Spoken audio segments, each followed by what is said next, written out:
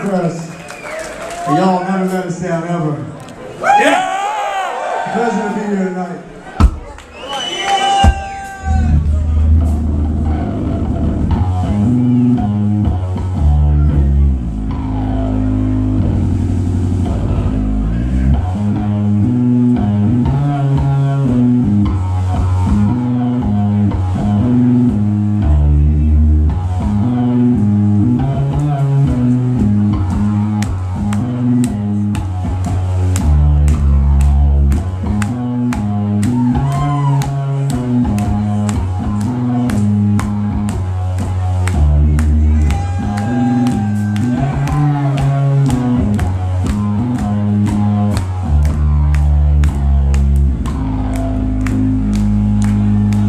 Sunday sermon.